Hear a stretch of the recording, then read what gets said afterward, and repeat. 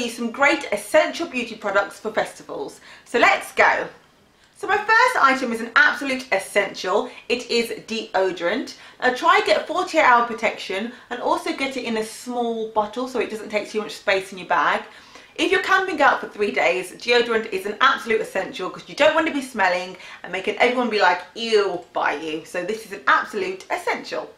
So my next item is Face Before Antibacterial Face Wash. I absolutely love this because it's a combined cleanser and toner.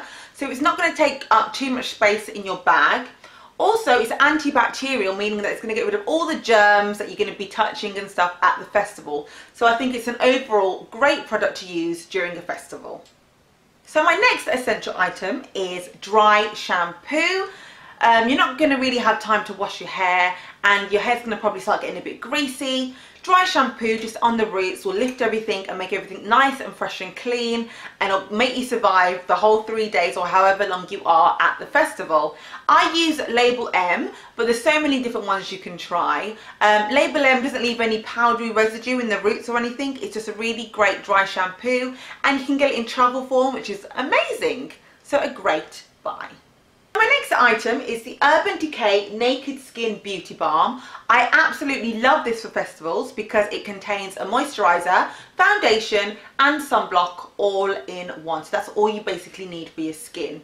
Um, it contains an SPF 20, meaning that you're not going to burn in the sun. And because it's all compact, it's not going to take a lot of space up in your bag. Perfect. So my next item I absolutely love. It's the Benefit Benetint Lip and Cheek Stain. Now again, it's a two-in-one, so you can use it on your cheeks and your lips. And because it's a stain, it means you just need to apply it once and it will not budge throughout the whole day. So when you're eating, when you're drinking, when you're having fun, you don't have to worry about that. So I just think this is an amazing little product to make sure that you have during the festival. So my next item is the Compact Tangle Teezer. I absolutely love Tangle Teezers because it doesn't break the hair and it's really easy to use. And the thing that's amazing about the Compact Tangle Teezer is it contains a cover, meaning that it's not going to get the bristles dirty in your bag, so everything is nice and protected. And it's nice and small and perfect to use during a festival. So I love it.